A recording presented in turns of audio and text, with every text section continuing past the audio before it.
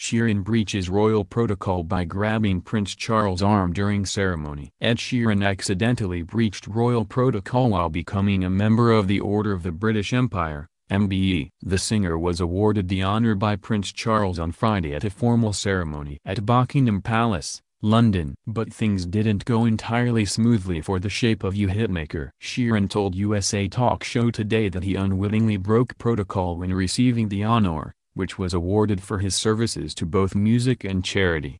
Singer Ed Sheeran poses with his MBE, member of the Order of the British Empire, medal that was presented to him by the Prince of Wales during an investiture ceremony at Buckingham Palace, London. I shook the prince's hand and talked to him for a little bit, he said. Apparently, I did a big faux pas, though. I shook his hand and then grabbed it and you're not meant to do that. Sheeran grabbed Prince Charles' arm during the handshake, which the Daily Mail says violates ancient rules governing commoners and royalty.